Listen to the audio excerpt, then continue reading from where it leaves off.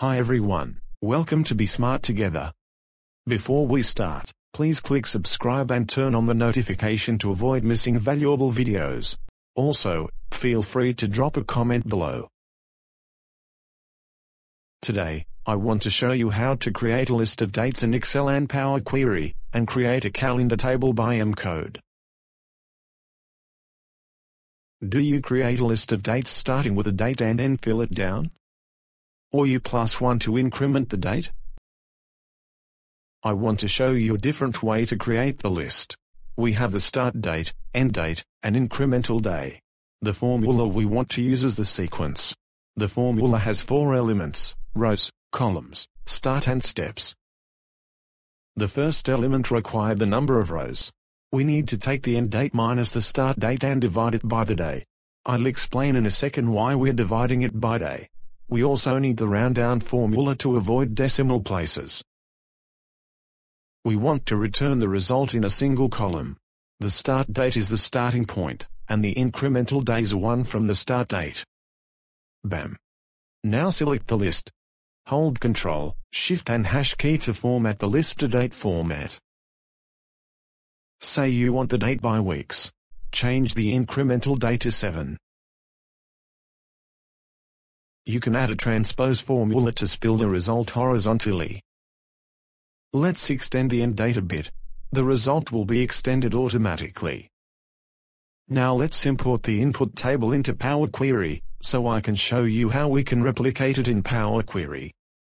We want to create three custom steps to reference the start date, end date, and incremental day. The cell reference video covers how to reference in Power Query. Please check out the link below. Let's add the first custom step and reference the start date. Copy the code for the next custom step. Add the second custom step, and paste over the copied code. Then, update the index from 0 to 1. Now add the third custom step, and the index for the incremental days too. We now have all three references created.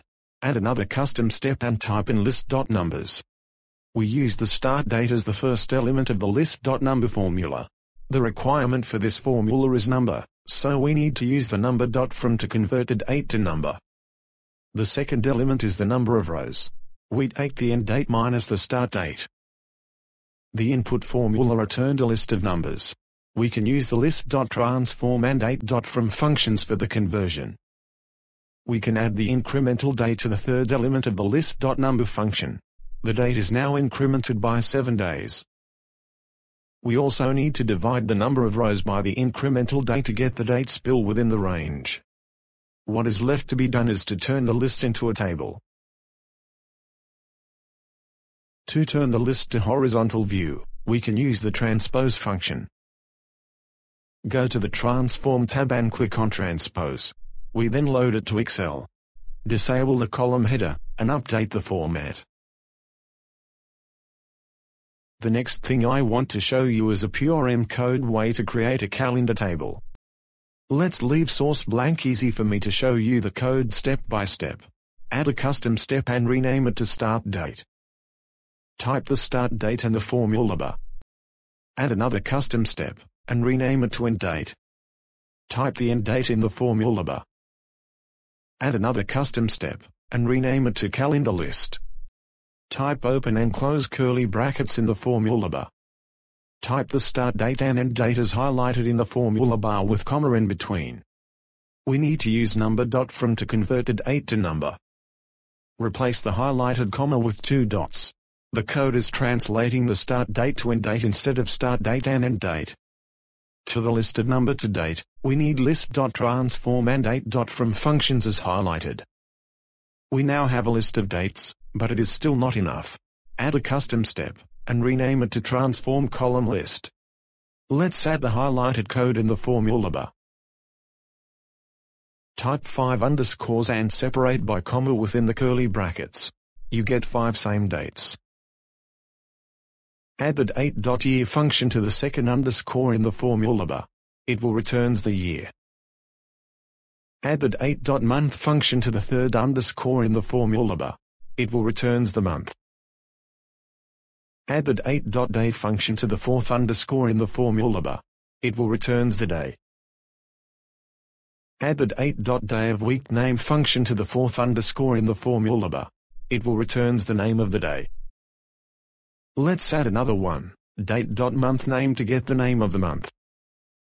Add the last custom step, and rename it to calendar table. This step is aims to turn the list into a table. I will show you a different way to turn a list into a table. We use the list.transform and record from list functions, convert the list to record. The list of names in the record from list functions are the column names. Let's preview one of the records. We need to add one last function, table.fromRecord From record is highlighted, to convert the record to table. I hope those information is helpful for you. Thank you for watching, and I hope you find this video helpful. Please don't forget to click like if you like the video.